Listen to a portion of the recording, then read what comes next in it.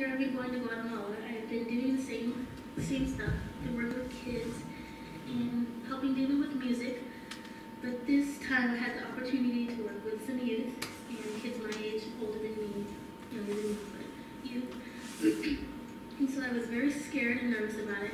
I've got pretty bad anxiety, um, so most everything scares me, and it's hard for me to get past those things. But uh, I knew I really wanted to, and I felt called to, and I knew I was going to enjoy it. So I was able to get up and talk to people. And um, before we left, the night before we left to Cobán, uh, I wrote. I started writing in my journal because I was really scared and uh, kind of wanted to just vent. And I started writing and started rhyming, so it's kind of turned into a song. Um, and it's kind of just about how I was feeling. Uh, the verses are talking about like how I feel the struggle that that is my anxiety and how how it really stops me from doing some things. And then the chorus is my answer to that. so I'll go ahead and sing it now, just to have some explanation. and I am very sick right now.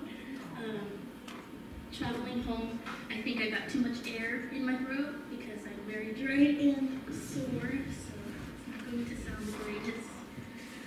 But yes, here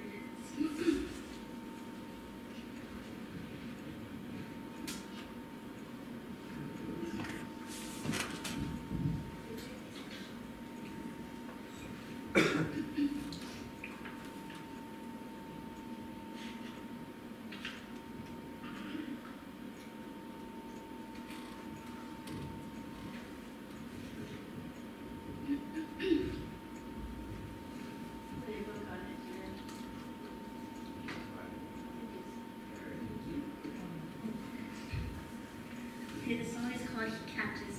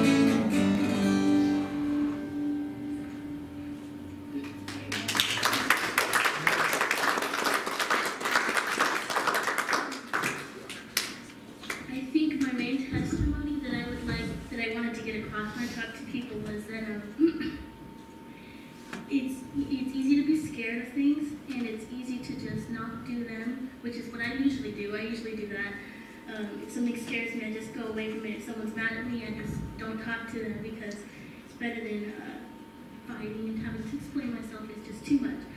But uh, with God's help, He has made things easier for me. He's made things less hard. He's made me look at things differently.